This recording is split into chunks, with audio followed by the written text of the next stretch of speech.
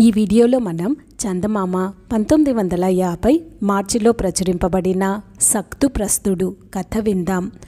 పంచపాండవులలో మొదటివాడైన ధర్మరాజు అశ్వమేధ యాగం అనే గొప్ప యజ్ఞం ఒకటి చేశాడు. ఆ యజ్ఞం జరిగినన్నాళ్ళు ఆయన గొప్ప సంతర్పణలు చేయించాడు. ఎక్కడెక్కడ ఉన్న బ్రాహ్మలు ఋషులు మునులు సాధులు సన్యాసులు భిక్షువులు వచ్చి పంచభక్ష పరమాణాలతో భోంచేసి వెళ్ళారు. ధర్మరాజు వాళ్ళందరికీ బంగారపు పాత్రలలో భోజనం పెట్టించి వాళ్ళు వెళ్ళేటప్పుడు ఆ పాత్రలను కూడా బహుమానం కింద పట్టుకుపోమ్మనేవాడు. ఆయన అన్నదానానికి దాతృత్వానికి వచ్చిన వాళ్ళంతా అనేక విధాలా మెచ్చుకున్నారు. ఆ స్తోత్రాలు చెవిన పడ్డ ధర్మరాజు సంతోషంతో ఉబ్బిపోయాడు. ఆ తరువాత అతిథులలో ఒక్కొక్కడికి రెండేసి మూడేసి బంగారపు గిన్నెలు ఇచ్చేయటం మొదలెట్టాడు. దగ్గర ఉండి యజ్ఞమంతా నడిపిస్తున్న శ్రీకృష్ణుడికి ఏమిటి చెప్పమా? ధర్మరాజు ఇలా ఒళ్ళు తెలియకుండా ఖర్చు పెడుతున్నాడు అనిపించింది. ఏమిటి బావా? చాలా జోరుగా దానాలు ఇచ్చేస్తున్నావు అని అడిగేశాడు కూడాను. అప్పుడు ధర్మరాజు దర్జాగా జోరుగాక మనకేమిటోయ్? వచ్చిన వాళ్ళు మనల్ని గురించి ఎలా చెప్పుకుంటున్నారో వినపట్టం లేదా? ధర్మరాజు వంటి అన్నదాత ఇదివరలో లేడు ఇక ముందు పుట్టబోడు అనుకుంటున్నారు అన్నాడు. శ్రీకృష్ణుడు ఏదో చెప్పబోయాడు కానీ ధర్మరాజు వినిపించుకోలేదు. ఎందుకు వినిపించుకుంటాడు? మహాన్నదాతనైపోయాను అనే అహంభావం అతన్ని కమ్ముకుపోయింది. శ్రీకృష్ణుడు తన భక్తులన్నా బంధువులన్నా మిత్రులన్నా ఎక్కువ ప్రేమ చూపుతాడు. కానీ వాళ్ళల్లో ఏమాత్రం గర్వం బయలుదేరినా ఆయన సహించడు. ఆ గర్వాన్ని భంగపరిస్తే కానీ నిద్రపట్టదు. మహాన్నదాతననుకుంటున్న ధర్మరాజుకి గర్వభంగం చేయాలని ఆలోచించి అతన్ని భోజనశాల కవతల అతిథులు చేతులు కడుక్కునే చోటికి తీసుకెళ్ళాడు. కోట్ల కొల్లది అతిథులు భోంచేసి అక్కడ చేతులు కడుక్కుంటూ ఉండటం వల్ల ఆ నీరంతా ఒక నదిలా ప్రవహించటం మొదలెట్టింది. ధర్మరాజు శ్రీకృష్ణుడితో బావా చూసావా ఈ నదిని? అన్నాడు. అందుకు కృష్ణుడు నదికేం కానీ ఆ బురదలో అటు ఇటు దొర్లుతూ ఓ ముంగిస ఉంది చూసావా అన్నాడు. ఆ చూశాను. బురదలోంచి యువతలకొచ్చి నిలబడి తన ఎడం వైపు చూసుకుంటుంది. అదిగో మళ్ళీ బురదలోకెళ్ళి దొర్లుతుంది చూడు అన్నాడు ధర్మరాజు. ఆ ముంగి మళ్ళీ బయటకొచ్చేసింది. ఇది చూసి ధర్మరాజు ఇందాకట్లాగే తన ఎడం వైపు చూసుకుంటోంది. ఎందుకు చెప్పమా? బురదలో దొర్లి వచ్చి అలా చూసుకుంటుంది అని కృష్ణుణ్ణి అడిగాడు. కృష్ణుడు జవాబు చెప్పేలోగా ఆ ముంగి ధర్మరాజు ఎదుటికి వచ్చి మనిషికి మళ్ళీ మాట్లాడటం మొదలెట్టింది. మహారాజా విను.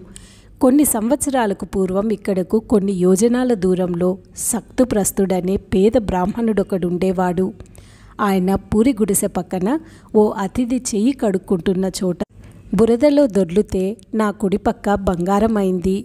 నా ఎడం పక్క కూడా బంగారం చేసుకోవాలన్న ఆశతో దొర్లపోతే అక్కడ చాలినంత బురద లేక ఆ పక్క మామూలుగానే ఉండిపోయింది అన్నది ముంగి. ధర్మరాజు ఆశ్చర్యపోయాడు. బురదలో దొర్లితే ఒళ్ళు బంగారం అవుతుందా ఎక్కడన్నా? అన్నాడు. మీకు సందేహంగా ఉంటే చూడండి మహారాజా అంటూ ముంగిస ఆ నీళ్ళల్లోకి పరిగెత్తి వెళ్ళి తన వంటి బురద కడిగేసుకొచ్చి ధర్మరాజుకి తన కుడివైపు చూపించింది. నిజమే ఈ వైపంతా బంగారమే. ఇది ఎలా సాధ్యమైంది? అని ఆశ్చర్యంగా అడిగాడు ధర్మరాజు. సక్తుప్రస్తుడు మహాన్నదాత. అందువలనే ఆయన గుడిసె వద్ద అతిథి చేతులు కడుక్కున్న నీటికి ఆ మహిమ కలిగింది అన్నది ముంగి. నాకంటే ఎక్కువ అన్నదాత ఆ పేద బ్రాహ్మణుడు? ఇక్కడ చేతులు కడుక్కున్న నీరు ఏరై పారుతుంది. సక్తుప్రస్తుడి పర్ణశాల పక్క బురద నీ కుడి పక్కకు మాత్రమే సరిపోయి ఎడమ పక్కకు లేకపోయిందన్నావు అన్నాడు ధర్మరాజు. నిజమే కానీ ఆ కాస్త బురద అంటితేనే నాకు ఒక పక్క బంగారమైంది. నీవు చాలా గొప్ప అన్నదానం చేస్తున్నావని విగ్ని ఇక్కడికి వచ్చి పొద్దున్నుంచి ఈ బురదలో దొర్లుతూ శ్రమపడుతున్నాను. కానీ ఒక్క పెసరగింజంత మేరైనా నా ఎడం పక్కన బంగారం అవ్వలేదు సక్తుప్రస్తుడు పూటకు ఠికానా లేని పేదవాడే కాని ఆయన అన్నదానం ముందు నీ సంతర్పణ ఏ లెక్కకి రాదని తేలిపోయింది అన్నది ముంగి. ఆ ముంగి ఇలా ధర్మరాజుతో చెప్పేసి తన దారిన వెళ్ళిపోయింది. ధర్మరాజు సిగ్గుతో కుమిలిపోయాడు. శ్రీకృష్ణుడు తానేమీ ఎరగనట్లు దిక్కులు చూడటం మొదలెట్టాడు. ధర్మరాజు ఆయనతో బావా ఈ సక్తుప్రస్తుడెవడు అని అడిగాడు. అప్పుడు కృష్ణుడు సక్తుప్రస్తుని గురించి ఇలా చెప్పసాగాడు. ఆ ముంగి చెప్పిందిగా అతడొక పేద బ్రాహ్మణుడని పేదవాళ్ళలోకెల్లా పేదవాడతడు. అయితే ఏం? అతను అతని కుటుంబం కూడా దేహి అని ఒకరిని యాచింపకుండానే జీవితం గడిపారు. అతను అతని భార్య కొడుకు కోడలు ఈ నలుగురు కూడా పొలాలలో రాలిపడ్డ ధాన్యం ఏరి తెచ్చుకొని దంచి బియ్యం చేసి ఆ బియ్యంతో పొట్టపోసుకునేవారు ఆ అన్నమే కొంత అతిథులకు పెట్టి మిగిలింది తాము తినేవారు. ఇలా రోజులు గడిచిపోతుంటే ఉన్నట్టుండి కరువు వచ్చింది. పేదవాళ్ళ సంఖ్య ఎక్కువై పొలాల్లో రాలేన గింజలు ఎరుకుపోయే వాళ్ళు ఎక్కువయ్యారు. అంచేత సక్తుప్రస్తుని కుటుంబానికి చాలా ఇబ్బంది వచ్చింది.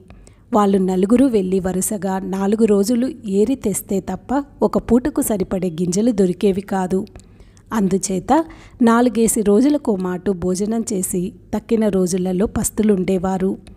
ఇలా ఓ మాటు నాలుగు రోజులు ఉపవాసాలుండి కూడబెట్టిన బియ్యాన్ని వండి ఆ అన్నం నాలుగు వాటాలు చేసుకొని విస్తళ్ళలో వడ్డించుకొని తిందామనుకుంటుంటే ఎక్కడ నుంచో ఒక అతిథి వచ్చాడు.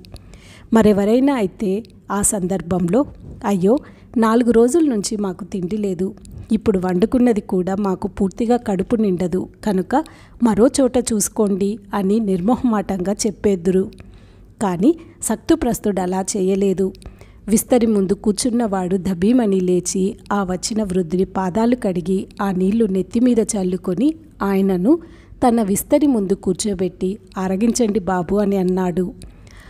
ఆ అతిథి ఈ కాస్త నేను తినేస్తే నీ మాటేమిటి? అనకుండా ఒక్క మెతుగైనా మిగలకుండా విస్తట్లో అన్నమంతా తినేశాడు.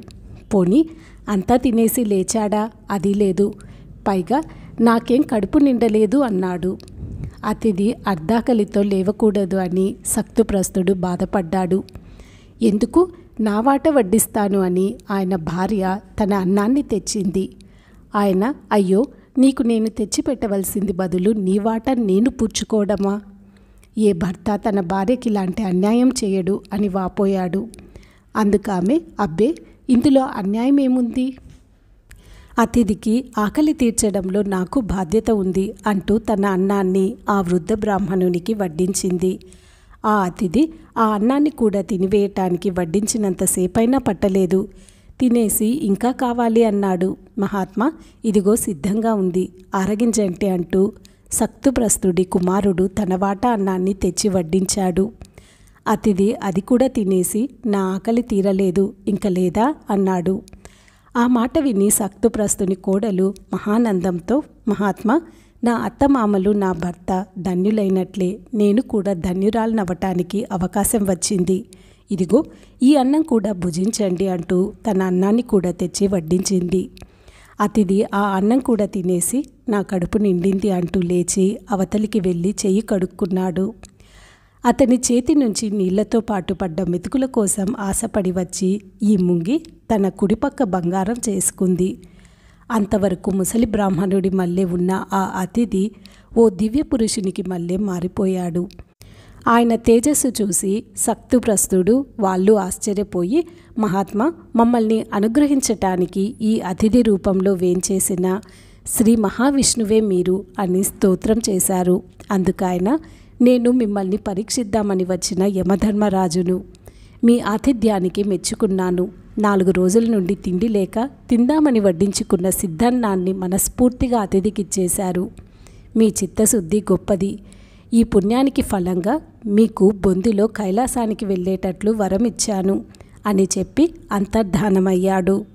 మరి కాసేపటికి కైలాసం నుంచి విమానం వచ్చి ఆ నలుగురిని కైలాసం తీసుకుపోయింది.